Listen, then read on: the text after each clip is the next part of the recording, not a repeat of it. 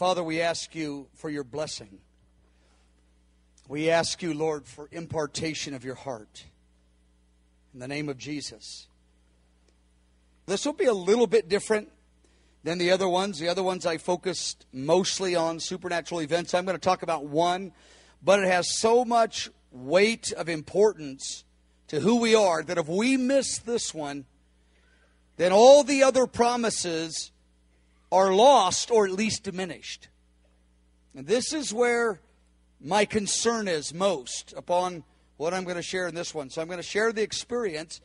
I'm going to break it down a little bit as what it means to us because all the other promises are related to how we respond. Paragraph A.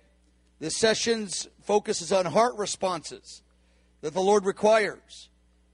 Now, it's the heart responses He requires when He entrusts a greater measure of the Spirit.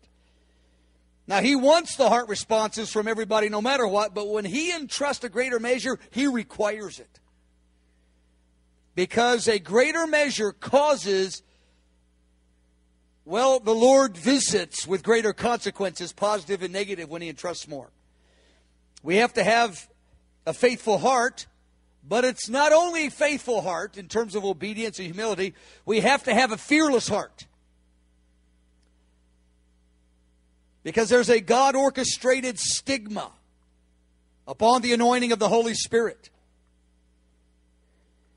A lot of folks, they think revival, they think, wow, power, excitement. Beloved, revival is power and excitement, it is stigma. A lot of folks that are thinking of the promises are only thinking of the positive and the excitement. There is a huge downside because, as my friend Francis Frangipane has said so often, new levels, new devils. If there's new levels of power, there are new levels of attack. New levels bring new devils. And I find that the most challenging aspect of a move of God, I believe, is not going to be the dedication, it's going to be the bearing of reproach, the bearing of the stigma. And I would say as well, the attitude we have towards others. Others that are different in the body of Christ and others that mistreat us. We have to have a different attitude. Paragraph B, and the God orchestrated stigma that we're going to look at in a minute I think the fear of man is more challenging than a dedication to the fasted lifestyle. I think it's easier to live the fasted lifestyle and yield to the fear of man. It's more likely. A lot of people pray and fast, but they yield to the fear of man. So don't think because we've said yes to prayer and fasting that it's over. We've got it made. It's done. Roman numeral 2. What the Holy Spirit did on the day of Pentecost is a pattern of what he will do in many places in the end times. You can read the verse from Acts 2 on your own, but on the day of Pentecost, there was wind, fire, wine. Three different distinct manifestations of the Spirit. And of course, those are whole categories of Holy Spirit activity. B, the wind speaks of the supernatural realm, the realm where the angels are actively involved. The buildings are shaking the creative miracles. The fire speaks of the conviction of the Holy Spirit, that heart wrenching conviction of repentance and that impassioned love for Jesus, that burning heart. The wine speaks of the healing, restoring of the heart, making the heart glad, the joy of the Lord. It's important to understand that as we go into this next experience with the Lord. Roman numeral 3. It's one that we talk about. We use the phrase Joseph's dungeon when Bob Jones saw Joseph's dungeon. Now, this is one year later after the May 83 Solemn Assembly. So we have fasted and prayed in May 83. And remember, at the end of the fast, Bob Jones got up and said, the spiritual drought that's on our nation is not going to lift right now. There will be, you know, there's pockets of the blessing of God here, there, always. But he said the spiritual drought is not lifting right now. In other words, the full revival we're believing for.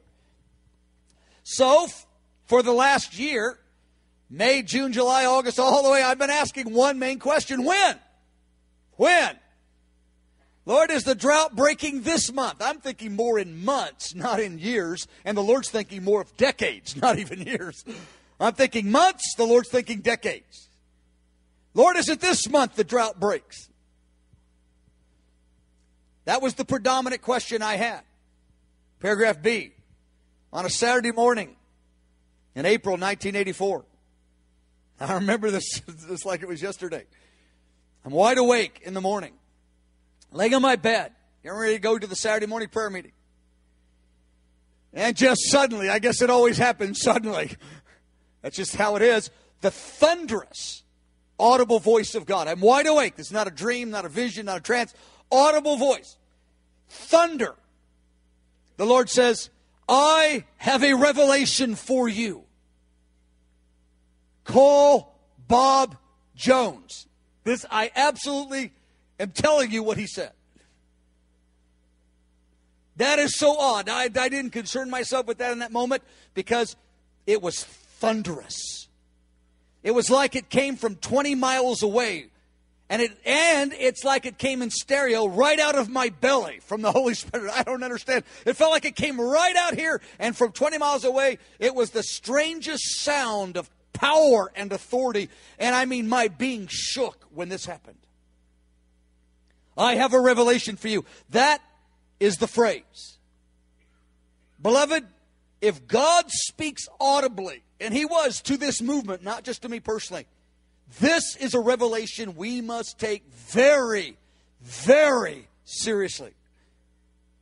This is a very important. God speaks thunderous from heaven to our movement.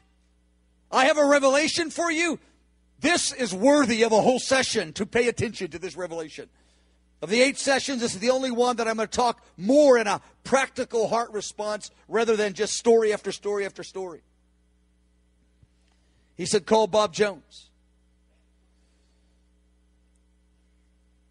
Again, that doesn't even strike me as odd that he didn't just tell me, Well, Lord, we're talking. Here we are. Just tell me. You will tell it much better than Bob Jones will. That never struck my mind because the audible voice of God shakes your being. You, it takes a while to recover from that. You don't get your sense of humor or your wit back for quite a while. I talked to Bob a couple hours later. Telephone. He says, Mike, I had an absolutely astounding experience this morning. And the Lord wants me to tell it to you. I said, I'm sure of that, Bob. He said, I went in the visions to Joseph's dungeon. And, you know, I went in the visions. You know, this is just different language. I go, you know, dream vision. No, I was there. Okay. He said, I saw the two men that were representative of the two ministries in the body of Christ, even right now, two ministries in the body of Christ, but the message is for yet to come. The, the weight of this message is yet future though it had a very important present tense application 25 years ago. I saw two men, and they represent the two types of ministries.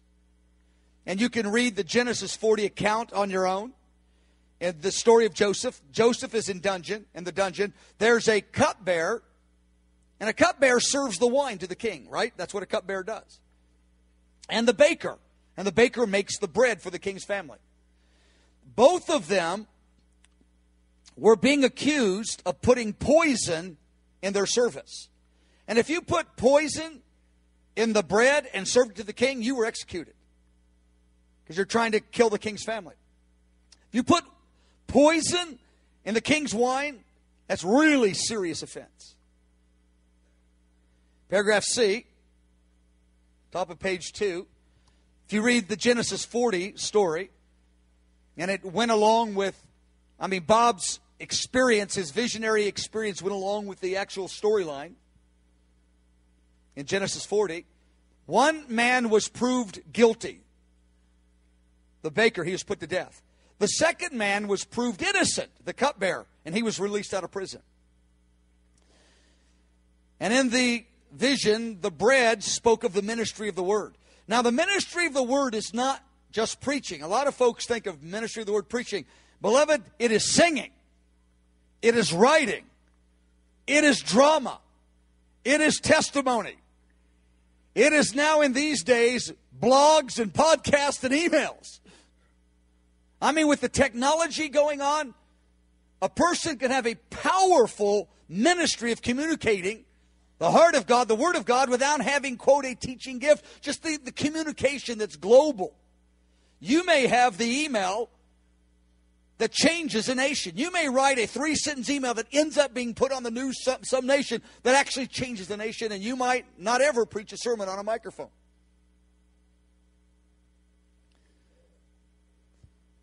Well, the baker was accused of poisoning the king's family, and the Lord told Bob in this experience, He says, the bakers, they're the ministries that are putting poison in the bread, and they're killing my family. And the Lord told Bob, this is what it means to have poison. It's a ministry, whether it's song, whether it's drama, whether it's writing, whether it's preaching, it's, it's a ministry that does not produce humility. That is poison. Whatever ministry it is, if it doesn't produce humility, it is poison. That doesn't mean every sermon, every song has to be on humility. That's not the point. But it must, the overall impact of our ministry must not just produce inspiration for people to come to the next meeting, go to the next prayer meeting, it must contribute to producing humility in people's spirits. This is a very powerful revelation. The Lord said, thunderous to me, audible voice, I have a revelation for you. This is what it is.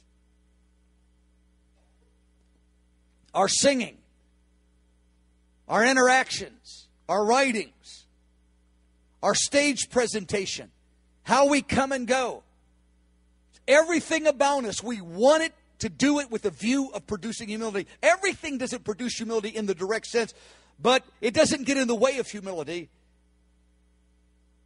and produces humility. Those are the two concepts. Paragraph D. The Lord told Bob, He says, I'm going to exalt the cupbearer from prison, and they're going to serve wine in the presence of the king. I'm going to exalt the cupbearer. There are cupbearers that have been in prison.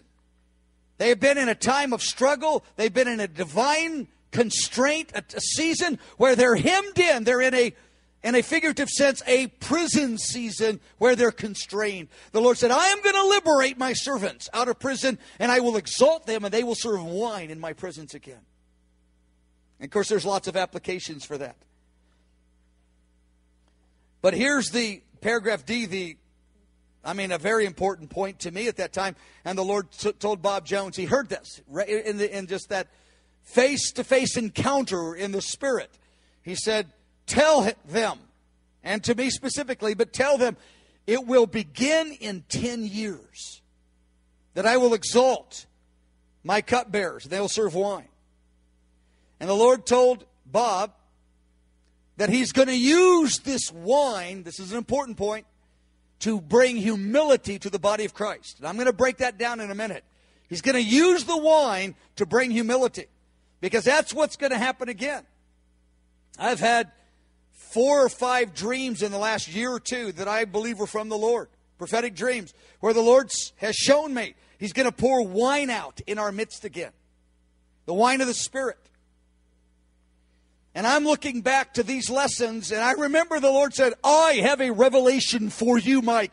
I have a revelation for you. You must hear this revelation. And I think it's related to this wine season that's yet ahead of us, as well as the whole of our future. This is not a small point. Paragraph E.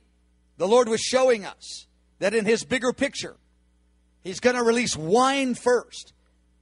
Now, I would prefer the wind, the creative miracles, the building shaking, the whole city seized in power, the activity of angels manifest in the natural.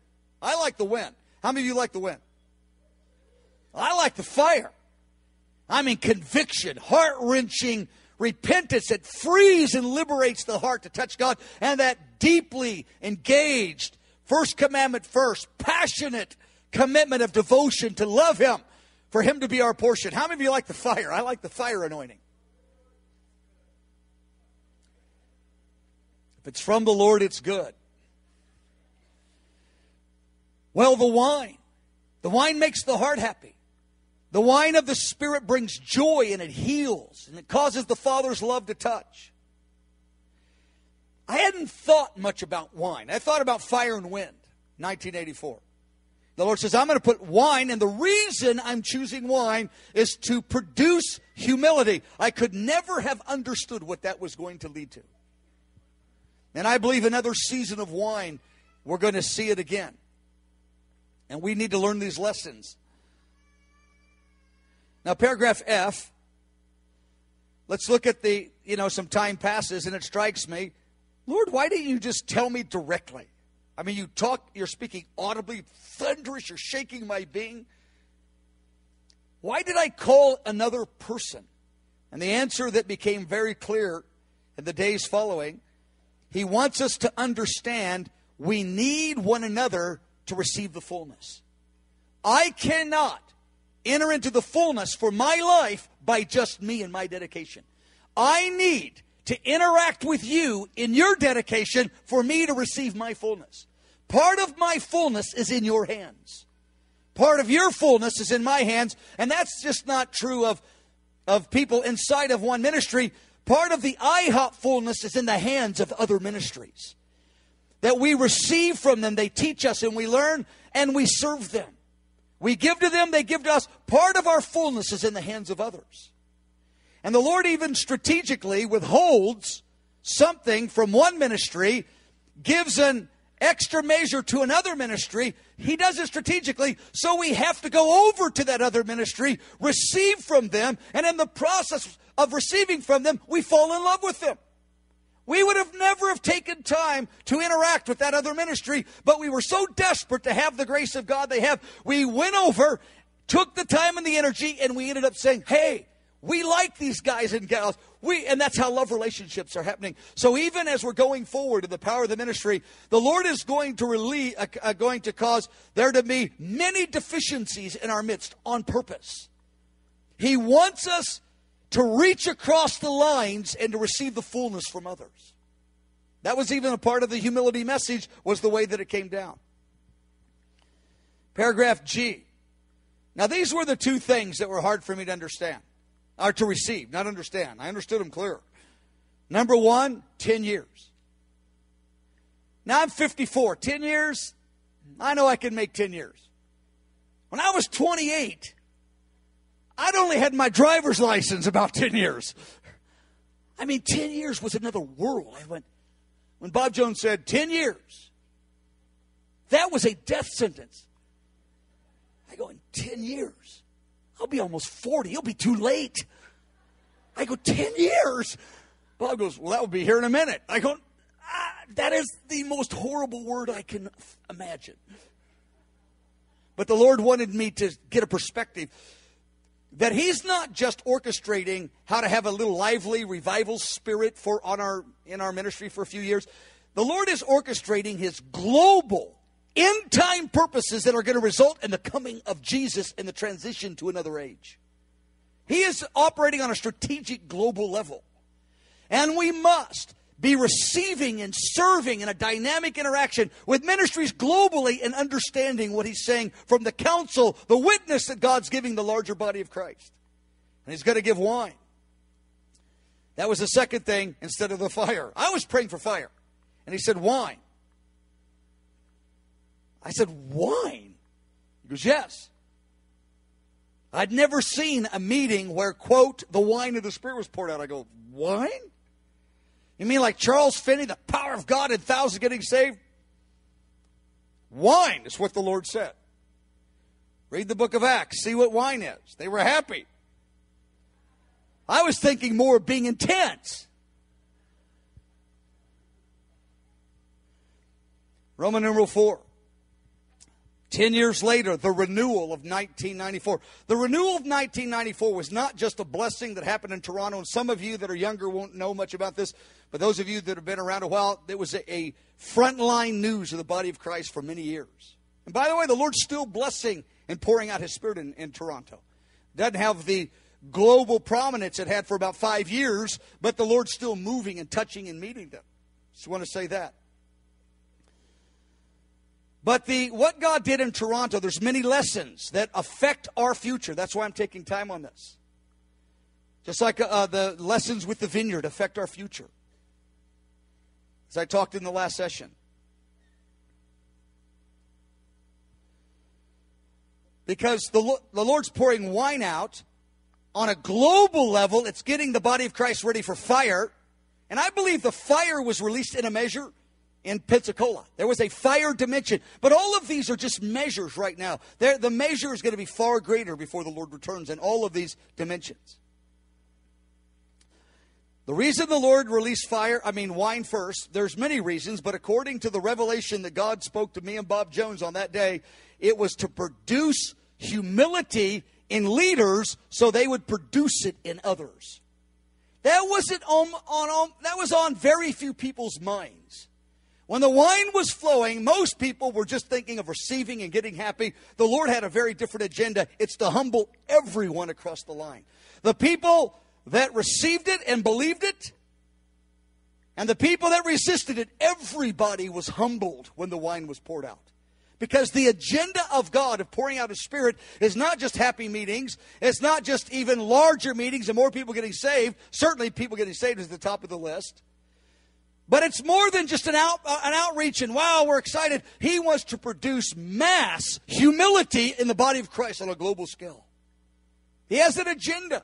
And it's not necessarily the same agenda that we have when we cry out for revival. Often people are crying out for healing and power, so the meetings are bigger, more exciting, and they do want Jesus being saved, but Jesus wants us to bear the cross. As the preacher said, the same God that orchestrated the crucifixion of Jesus is orchestrating your crucifixion right now. And what he meant by that is that he's going to see that we walk in humility. The people who live for humility, they're hard to, to offend. They're stable. They're hard to offend. It's not only that we would be humble, that's not enough that we would be humble. He wants us to produce it in the new believers. He wants us to produce humility, not just have it, but actively produce it. This revelation told me, of course, it's clear enough in the Bible by itself, but when you have a revelation, the Lord is, is focusing and putting more heightened focus on it. Beloved, here's the question of IHOP to our leadership team, to me, to all of us. Are we actively, in all that we're doing, trying to produce humility in the people that are receiving our songs, our dramas, our teachings, our writing? This is the Lord's agenda for the outpouring in terms of the body of Christ. And of course, it's to relieve the oppressed and to win the lost and many other things. But at the core of it, it's to bring us into humility. Paragraph D, B the spring of 94, the Lord poured out the wine of the Spirit in Toronto. And of course, we know the names John Arnott and Randy Clark. And it started 10 years, just like Bob Jones. And people were talking the wine of the Spirit. I'd never heard of the wine of the Spirit in 84. 10 years, the wine of the Spirit is on the front news of the body of Christ kind of attention in the Western world, at least. It's a very dynamic move.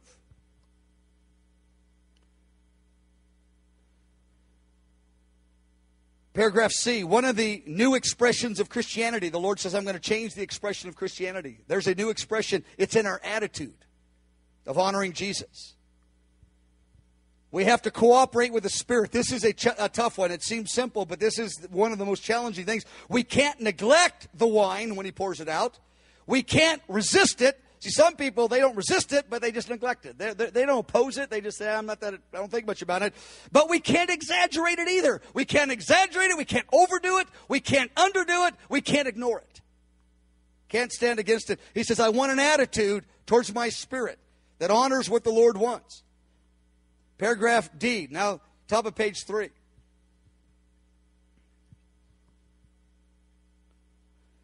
These, there are four groups that come to mind when I think of the outpouring of the Spirit.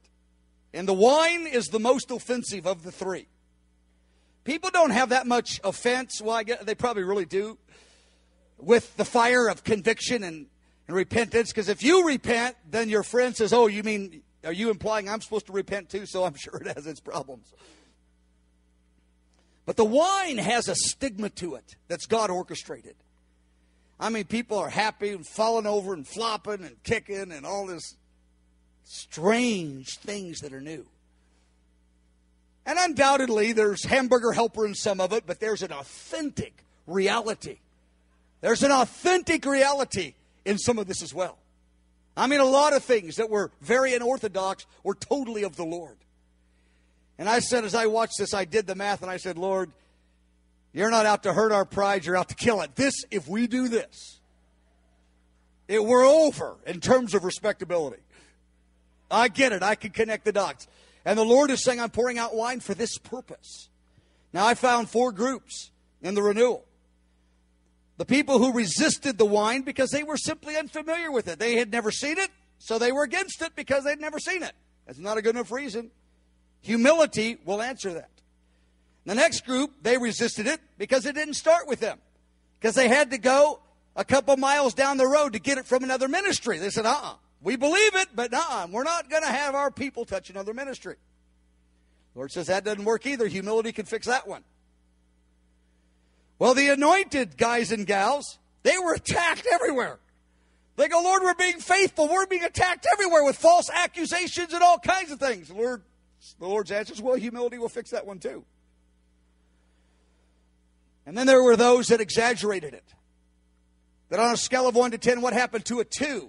They made it out to be a 4 and a 6 and an 8. And there's a reproach that goes with that as well. Humility fixes all of these. And there's a couple other categories you could put in there. Paragraph E, the category I'm most concerned about is the bearing of the stigma of the wine.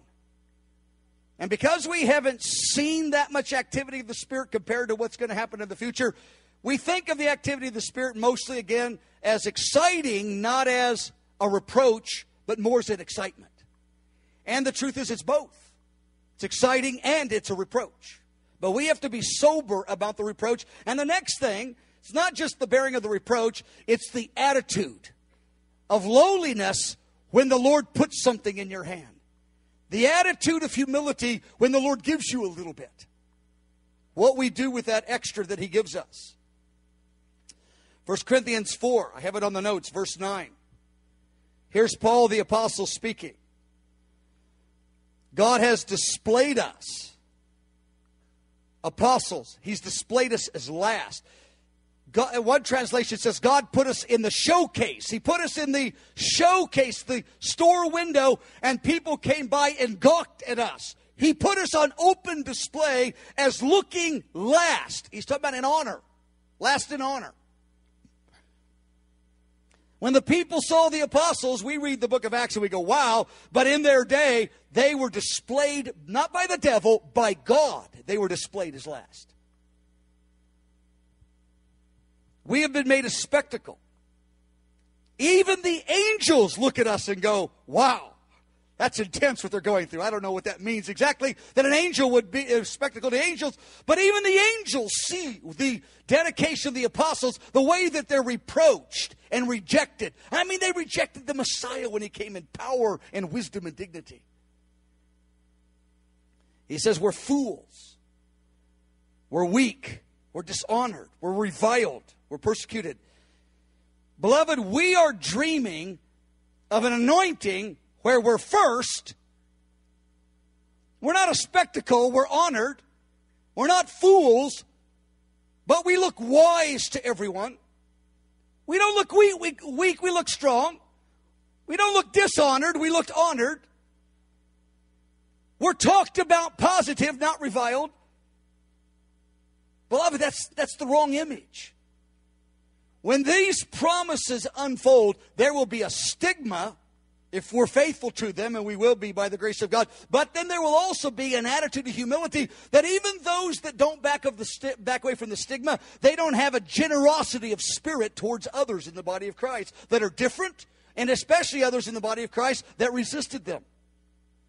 The Lord says, I require humility straight across the line, or you're going to lose or diminish the promises. That's why I'm saying I'm. I know I'm giving a little bit of a teaching, and I don't want to do that in these eight sessions. I just want to give the stories. But all of these eight one hour sessions of testimony will be lost or diminished on this issue. The Lord said, by thun- like thunder, I have a revelation for you, Mike Bickle. I have a revelation for you. Call Bob Jones. And Bob Jones says, if it doesn't produce humility, the wine is going to produce humility. And if it doesn't produce humility, it's going to poison the body of Christ, my family. I look across the body of Christ, and so much that is being honored and displayed and promoted does not produce humility. That's not my business to go figure that part out. It's my business to say it doesn't matter how it goes down in the public arena. We must stand for what the Holy Spirit's saying and doing, and we must have a generous spirit towards everyone that's friendly to give them what we have, and that those that are opposing to serve them in all ways possible without drawing attention to the fact we're doing it. The Lord says, Now I'll give power into that kind of community. I'm very grateful for John Arnott and many others that took a courageous stand. I mean, I just saw the reproach they took. I think we will be surprised how many fear of man issues are going to surface when the wind, fire, and wine begin to manifest at a new level. I mean, fear of man issues in us. Because the Lord's going to display us, He's going to put us on display. And it's not, the Lord is going to exhibit us. All that He anoints, He's going to put them on display as last. And that is not the American dream. That's not a Western paradigm. That is not something the body of Christ is excited about being put on display as last. We're praying and fasting with the anointing to be first. And the Lord says, I'm praying, you're praying and fasting, I'm going to anoint you to make you last. This is where it's going. Let's go to top of page four. We'll just spend a moment on this. This will be a shorter session than the other ones because I, I wanted to do I wanted to pause from these glorious kind of some of the stories have a spectacular element, some are kind of mystical and perplexing element. And I wanted to, right in the middle of these eight one hour sessions, just to lock in and say, let's have a reality check. Do we really want these things to happen? Of course, the answer is yes, but not just excitement. Bear the stigma and a spirit of honor and servanthood. Roman numeral 5, we'll just take a minute on this, I won't go long on this. God wants to establish a culture of honor. This is what the Holy Spirit really wants to do. We love God by honoring everybody that He calls, everyone that's dear to Him. All the different streams, denominations, tribes in the body of Christ that do, they approach the ministry different, they look different, they express it different. The Lord says, They're dear to me. Don't write them off, they're dear to me. I want them honored. He requires that we dwell together in a culture of honor. And I don't mean just among each other, that we honor the ministries that we live with. That, that's very important. That's very important. I'm talking about we honor the ministries in our city, in our nation, and the nations that do it differently than we do. And that don't appreciate us. We honor them. We bless when we're reviled. The Holy Spirit insists on this if we're going to be those that walk in the greater dimensions of the Spirit. God loves the whole body of Christ, and He wants us to. Jesus loves the whole body of Christ. Imagine that concept. He loves the whole church. And at the core of our community and everybody that believes for the greater breakthrough, we must love the whole church. Not just the ones that look like us Baptists, Nazarenes, Presbyterians, Anglicans, Episcopals, Catholics, I'm talking about born again Catholics. There's millions of them that are born. Salvation by faith. They've born again. They typically use the word spirit filled, but they're connected to Jesus. Millions of them. All kinds of non denomination. And here's why I'm saying this think about it. In this Joseph's dungeon, the one I've just looked at a minute ago, I have a revelation for you humility, thunderous voice of God. And the one we shared in the last uh, uh, uh, session, session three. Right now we're on session four. The control spirit. When I'm in Cardiff, Wales, and the Lord says, You must relinquish all rights, No one with a control spirit. You cannot possess the blessing of God for yourself. When I give you the blessing of God, you must think of ways to give it away free. Well, come join us. Lord says, No, no, not give it away so they join you. You have to possess the kingdom without a control spirit. The money, the blessing, the honor. We must, it's this, this thing I insist on. Anybody can recruit from us. Anytime they want our copyrights, the right to copy. And it's more than that. We need to be thinking of ways where we can make other ministries successful without it ever coming back to bless us in a way consciously. I'm talking about giving them time, people, and money with no way that it comes back and makes us better, bigger. Just doing it because God loves the church. We just leave it there. Well, they'll never come back and bless us. If we put a lot of time and energy, it will never make IHOP bigger. And the Lord says, perfect. That's called the kingdom of God. Well, they're different from us and they're not really doing our thing. Perfect. Serve them. That's called the kingdom of God. This is what the Lord's saying. Paragraph C, there's many. The body of Christ, we have, we agree on the main and plain things of the faith, but we have many differences. We agree on salvation by faith, the authority of the Scripture. We agree on the two great commandments. We agree on evangelizing the lost. We agree on the need to transform city and the mandate to do it and disciple nations, but many other things are different. The Lord says if you agree on those main and plain things, you can honor one another. Open your heart to each other. If we think, secretly think, we're a little better or a little more dedicated, it will feed a spirit of pride. If any of us think we're a little more dedicated, you know, that group down the road, they don't do what we do and they don't do it like we do it. The Lord says, don't go there. Don't, don't even go there. It's critical. If you're going to operate in the healing, anointing, the authority of the Spirit, of these great breakthroughs of power, we must have a heart response that is in line with the Holy Spirit who's releasing the power. Paragraph E. Elitism or humility can be imparted. We can impart humility to our students, or we can impart elitism to them. The young people, they're like wet cement. They will follow the spirit, the tone, and the style of what their leaders do consistently. And I'm saying us here and others abroad that we're connected with, we are consciously wanting to impart humility. Consciously wanting to impart it. It's not something that just, if it happens, that's cool. The Lord said, I have a revelation for you, thundered from heaven. You better get this one. Well, we want this church to know how special our prophecies are, how great our promises are. The Lord says, don't just impart that. That's all you impart. Your history is going to be cut short. The last thing I want is these eight sessions and we walk away. We got great promises. We got dedicated people. We're awesome. Oh, sorry, friend. You guys must be left out. That would be the most grievous thing imaginable, celebrating all the great things God is saying about our future. We have to know that the Lord is requiring a spirit of humility in all this. Three simple principles. We bless without criticism. Paragraph G, we bless the budding virtues in other ministries that have not yet matured. We bless them. Yes, they have deficiencies.